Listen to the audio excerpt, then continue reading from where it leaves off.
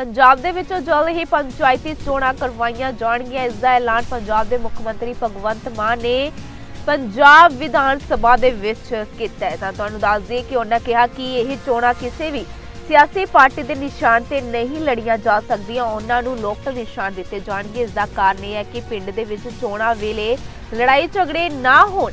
ਜੇਕਰ ਕੋਈ ਵਿਅਕਤੀ ਕਿਸੇ ਪਾਰਟੀ ਨਾਲ ਜੁੜਿਆ ਹੈ ਅਤੇ ਲੋਕਾਂ ਨੂੰ ਇਹ ਦੱਸਣਾ ਚਾਹੁੰਦਾ ਹੈ, ਤਾਂ ਉਸ ਦੇ ਪੋਸਟਰ ਤੇ ਲੋਕਲ ਚੋਣ ਨਿਸ਼ਾਨ ਹੀ ਹੋਵੇਗਾ, ਪਰ ਉਹ ਪਾਰਟੀ ਦੇ ਵੱਡੇ ਆਗੂਆਂ ਦੀਆਂ ਤਸਵੀਰਾਂ ਉਹ ਪੋਸਟਰ ਤੇ ਲਾ ਸਕੇਗਾ, ਜਿਹੜੇ ਪਿੰਡ ਸਰਬਸੰਮਤੀ ਕਰ ਲੈਣਗੇ। ਪੂਰੀ ਪੰਚਾਇਤ 5 ਲੱਖ ਰੁਪਇਆ ਇਨਾਮ ਵਜੋਂ ਨਗਦ ਦਿੱਤਾ ਜਾਵੇਗਾ। ਇਸ ਦੇ ਨਾਲ ਹੀ ਉਸ ਪਿੰਡ ਨੂੰ ਸਟੇਡੀਅਮ, ਸਕੂਲ ਅਤੇ ਹਸਪਤਾਲ ਦੀ ਸਹੂਲਤ ਦਿੱਤੀ ਜਾਵੇਗੀ।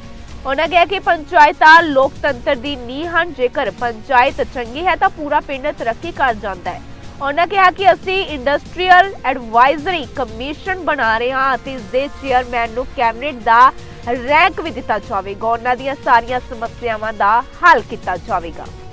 ਇਸ ਦੇ ਨਾਲ ਹੀ ਤੁਹਾਨੂੰ ਦੱਸ ਦਈਏ ਕਿ ਅੱਜ ਪੰਜਾਬ ਵਿਧਾਨ ਸਭਾ ਸਦਨ ਦੇ ਵਿੱਚ ਪੰਜਾਬ ਫਾਇਰ ਅਤੇ ਐਮਰਜੈਂਸੀ ਸਰਵਿਸਿਜ਼ ਬਿੱਲ 2024 ਪੇਸ਼ ਕੀਤਾ ਗਿਆ, ਜਿਸ ਨੂੰ ਸਰਬਸੰਮਤੀ ਨਾਲ ਪਾਸ ਕਰ ਦਿੱਤਾ ਗਿਆ। ਸਦਨ ਅੰਦਰ ਇਸ ਬਾਰੇ ਬੋਲਦਿਆਂ ਮੁੱਖ ਮੰਤਰੀ ਮਾਨ ਨੇ ਕਿਹਾ ਕਿ ਫਾਇਰ ਸੇਫਟੀ ਤੇ ਐਮਰਜੈਂਸੀ ਨੂੰ ਲੈ ਕੇ ਵੀ ਬਹੁਤ ਪੁਰਾਣੇ ਨਿਯਮ ਚੱਲ ਰਹੇ ਹਨ ਅਤੇ ਗੱਡੀਆਂ ਵੀ ਇਹੋ ਜਿਹੀਆਂ ਹਨ ਜਿਹੜੀਆਂ ਮੌਕੇ ਤੇ ਨਹੀਂ ਪਹੁੰਚ ਸਕਦੀਆਂ ਤੇ ਜੇਕਰ ਪਹੁੰਚ ਗਈਆਂ ਤਾਂ ਉਹ ਅੱਗ ਨਹੀਂ ਬੁਝਾ ਪਾਉਂਦੀਆਂ। ਮੁੱਖ ਮੰਤਰੀ ਮਾਨ ਨੇ ਕਿਹਾ ਕਿ ਅਸੀਂ ਨਵੀਂ ਤਕਨੀਕ ਵਾਲੀਆਂ ਗੱਡੀਆਂ ਫਾਇਰ ਵਿਭਾਗ ਨੂੰ ਦਿੱਤੀਆਂ ਨੇ, ਇਸ ਤੋਂ ਇਲਾਵਾ ਛੋਟੇ ਕਸਬਿਆਂ ਲਈ ਛੋਟੀਆਂ ਗੱਡੀਆਂ ਦਿੱਤੀਆਂ ਹਨ। ਉਹਨਾਂ ਕਿਹਾ ਕਿ ਦੇਸ਼ 'ਚ ਕਿਤੇ ਵੀ ਫਾਇਰ ਬ੍ਰਿਗੇਡ 'ਚ ਕੁੜੀਆਂ ਨਹੀਂ ਹਨ। ਅਸੀਂ ਵਿਭਾਗ ਦੇ ਨਿਯਮਾਂ ਨੂੰ ਸੌਖਾ ਕਰ ਰਹੇ ਹਾਂ ਅਤੇ ਫਿਜ਼ੀਕਲ ਟੈਸਟ ਵੀ ਕੁੜੀਆਂ ਦੇ ਮੁਤਾਬਕ ਕੀਤੇ ਜਾ ਰਹੇ ਨੇ। ਪੰਜਾਬ ਪਹਿਲਾ ਸੂਬਾ ਹੋਵੇਗਾ ਜਿਸ ਨੇ ਆਪਣੀਆਂ ਧੀਆਂ ਭੈਣਾਂ ਨੂੰ ਫਾਇਰ ਬ੍ਰਿਗੇਡ ਦੇ ਵਿੱਚ ਨੌਕਰੀਆਂ ਦਿੱਤੀਆਂ ਹਨ।